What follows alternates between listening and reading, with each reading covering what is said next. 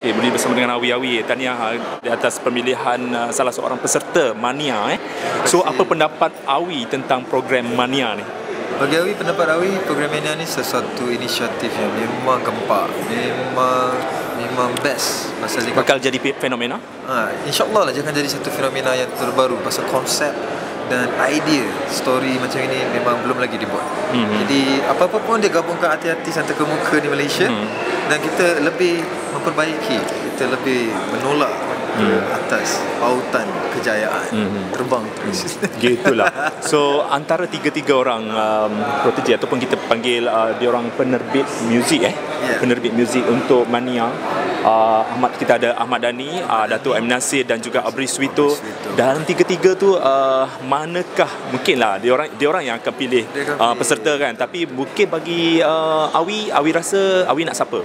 Bagi Awi, Awi memang suka sangat dengan muzik uh, Dato' M. Nasir dan juga uh, muzik Ahmad Dhani Tapi Awi lebih cenderung kepada arrangement dan string arrangement hmm. Ahmad Dhani, Dewa Jadi insyaAllah lah dia akan memilih Awi Rafael hmm. Mana tahu, hmm. tak tahu Okey. Kenapa Awi bersetuju eh untuk menyertai Mania?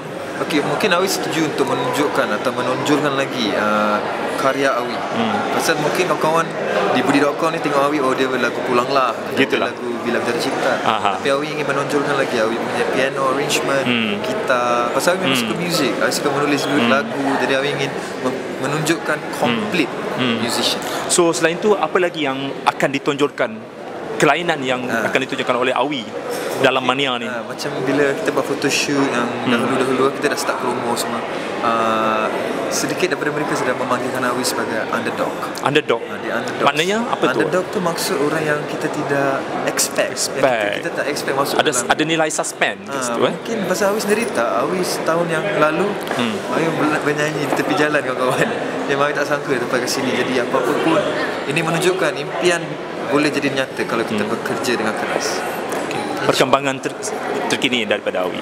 Perkembangan Awi, Alhamdulillah lagu Bila Aku Jatuh Cinta pun sudah jadi uh, hit yang nombor satu Alhamdulillah, lagu Pulanglah nombor satu Nombor satu di mana? Cinta, Nombor satu di Carta? carta Carta radio? Banyak carta Okey, tahniah untuk Awi. Terima kasih Selain itu ada konsert akan tu, muncul di mana-mana konsert Awi ada konsert Dashboard Confessional yang Terbaik. akan pada Ya. hari Rabu ini. Rabu ini Awi di mana Awi sebagai opening act ya. eh? Opening act Awi membuka tirai. Jadi apa-apa pun Awi ingin uh, menunjukkan muzik Malaysia kepada kawan-kawan kita di Amerika kan. Jadi, So ucapan kepada Awi editor Okey kepada Awi Dicted. Ah, Awi Dicted terus sokong Awi Rafael di Astromania atau di ABP atau dari dalam segi lagu Awi di radio. Terus beri sokongan pada Awi Rafael. InsyaAllah. Terima kasih Budi. I love you.